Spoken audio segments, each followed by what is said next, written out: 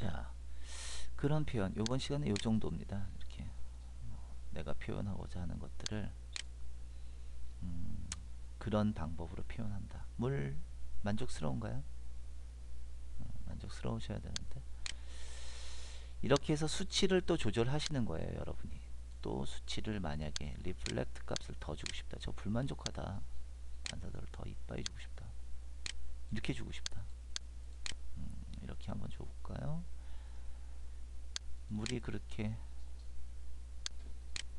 요 정도 맑은 물인데 자 여기서 한번 렌더를 돌렸다.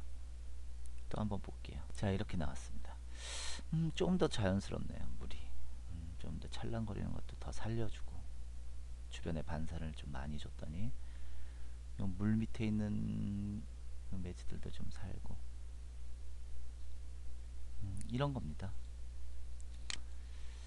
이 물도 한번 보시고요 어떻게 보면 이게 더 물 같기도 하고 이게 더 물 같기도 하고 어느 게 어디에 어떻게 어울리는지 모르겠지만 음, 그 중에 어울리는 부분이 있을 거예요. 그 부분에다가 적용을 하시면 됩니다. 음, 오늘은 요, 이 정도 하고요. 음, 좋은 거 굵고 짧게 끝냈습니다. 물 표현은 이렇게 한다. 괜찮아요 제가 볼 때. 자, 물 표현하는 거 제가 요것도 한번 사진 올려놓을게요. 그리고 나머지 부분들은 여러분께서 한번 해보세요. 맵을 여기다 입혀도 되고 여기다 입혀도 됩니다. 근데 여기다가는 입히면 안 되겠죠. 왜냐면 너무 reflection이 강하니까 물이 너무 세게 들어갈 것 같기도 하고.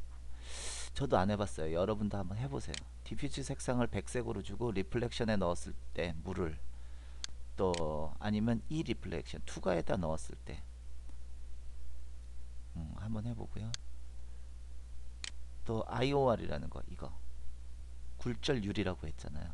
여기다가 맵을 넣었을 때는 어떻게 되는지. 여러분들이 한번 이게 방법이에요. 여기다 넣으니까 어떻게 되고 여기다 넣으니까 어떻게 되고 여기다 넣으니까 어떻게 되고. IOR을 여기다 넣으셔도 되고요 한 번씩 넣어 보시는 거예요. 그렇게 해보시면 되고 이것도 타입을 여러분이 바꿔보세요. 이렇게 했더니 어떻게 나오더라.